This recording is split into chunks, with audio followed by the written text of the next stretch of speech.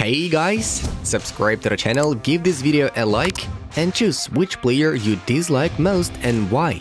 And while you're thinking and writing out your pick in the comments below, we are about to begin. Let's get the show on the pitch.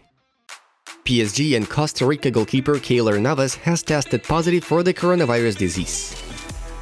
Bayern became the first team in Bundesliga history to score goals in 66 league fixtures in a row. Martial didn't want to be in the squad. That's the reason why he didn't travel yesterday to the game versus Villa, Rangnick revealed. Sergio Ramos made his first appearance for PSG at a home game, six months after he moved to the club. I miss these games and the Premier League. I'm very happy to be here with my new teammates. It was a good start. Coutinho stated after the match against Manchester United. Man United won 4 out of 8 games under Rangnick. He also has 3 draws and a defeat. Philippe Coutinho scored a goal and provided an assist in 4.5 minutes, coming on as a substitute with Manchester United at 0-2. Rafael Benitez is close to being sacked by Everton management. Who is going to win the best award? Hopefully Robert gets the title he deserves, Nagelsmann says. Rangnick explained why Ronaldo was withdrawn from the lineup for the match against Villa. Yesterday before training, Cristiano still had problems with his hip flexor and we then decided not to train him, told Man United manager. Ronald Araujo wants to stay at Barca, but expects a salary increase due to him receiving offers from the Premier League. Lewandowski scored a hat-trick against Köln. He now has 300 goals in the Bundesliga and only Gerrit Müller has more, 365 goals. Müller provided 150 assists in the Bundesliga throughout his 14-season spell at Bayern. In the top 5 leagues, only Messi has more during this time period, 180. Absolutely well-deserved result. We cannot expect 10, 12 chances against that team. They are European champions. Guardiola noted after his win over Chelsea. No team will catch up to Man City if they keep winning every game. Chelsea deserved the draw, Tuchel admitted. The North London derby between Tottenham and Arsenal has been postponed due to COVID-19, injuries, and the departure of guest players for the Africa Cup of Nations. Chelsea suffered defeat for the first time since December 4th, breaking an 11-match streak. Man City have won 12 Premier League games in a row, I won more individual titles than Ronaldo and Ronaldinho, but they both won World Cups. They are two players I grew up watching, Cristiano Ronaldo admitted. Barca were offered a loan for Vlahovic with an obligatory buyout for 18 million euros in the summer of 2020, but the club rejected. Andriy Shevchenko got sacked from Genoa. He won just once in 11 games. Atletico will not let you Joao Felix go either in winter or summer. The club believes in the player's potential and considers him valuable. Arsenal have made a 70 million euros bid for Vlahovic, though Dusan would rather go to another club. Newcastle agreed to a contract with Robin Gosens for 3.5 million euros per year. This is almost three times more than he receives in Atalanta. Arsenal are eyeing 33-year-old Diego Costa, according to Go.com. Luuk de Jong wants to stay at Barca. He won the player's respect the club appreciates his professionalism. New transfers? Bayern doesn't have an oil source. Decisions must be reasonable, Nagelsmann said. We are the team that scores the most goals for them to say we play on counterattacks, Carlo Ancelotti complained. Juventus is preparing an offer for Sardar Azmoun. Zenit wants 5 million euros. Carragher had a say on postponement of Premier League games. No other league in Europe is doing this. Why can't the young players be given an opportunity in these circumstances? Jamie is indignant.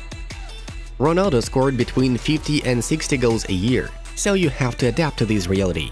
When he left, what changed was that it was up to me to take over, Benzema shared. A new contract for Salah? Contract talks is not like buying a smartphone. There are a lot of things from the agent's side, Klopp said. I wish Karius only the best. He will find a club, whether it's now or in the summer. From there, he will go on. I'm very sure, Klopp stated. We are not putting Erling under any pressure at all. As a professional, he also has to understand that at some point, you'll talk about the future, said Dortmund boss Hans-Joachim Watzke. Chelsea have recalled Kenedy from his loan spell at Flamengo. Yesterday, there were lots of top 5 leagues fixtures to witness. All the latest results are right in front of you. And let's dive into the main news of the release. Let's have a brief rewind of yesterday's matches. As for the Premier League main event, Man City defeated Chelsea thanks to a magnificent strike from De Bruyne. Manchester United missed its three-point ticket in a battle against Aston Villa, leading 0-2. The hosts responded to Bruno's double with an amazing debut by Coutinho. Firstly, Philippe gave an assist and then succeeded in accurately hitting the opponent's goal by himself. 2-2. After the matches were played, Manchester City strengthened its leadership even more. Meanwhile, in the Bundesliga, Bayern once again showed everyone who is the main contender for the title. The tie versus Köln turned out to be another training session for Munich, 0-4, Lewandowski had a hat-trick and Tolisso put in some effort for a goal too. Subsequently, Bayern are currently ahead of Borussia by 6 points. In Serie A, we are to mention the confident victory of Juventus over Udinese with 2-0. Goals from Dybala and McKennie made the day for the Olleti. Besides, the team is as close as possible to the Champions League zone.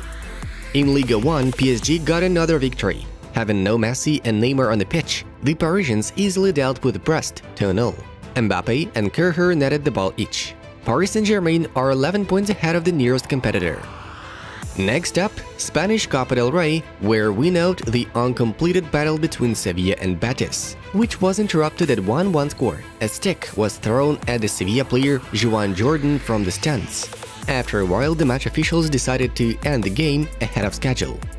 At the African Cup, we highlight Egypt's triumph over Guinea-Bissau, Mo Salah was the one who provided the decisive strike. Inter is interested in signing Paulo Dybala in summer for free, according to La Gazzetta dello Sport. Inter CEO Beppe Marotta recently called the Argentines agent to discuss details of a possible deal. The club from Milan is going to offer Dybala a five-year contract with a salary of 7.5 million euros per season, including bonuses, as well as a large signing bonus.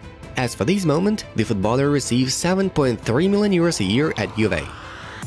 Ousmane Dembele told Barca that he would not renew his contract on Barca's terms. He wants to leave not in January but for free on June 30th. He believes he is a leading world-class professional and should be paid accordingly.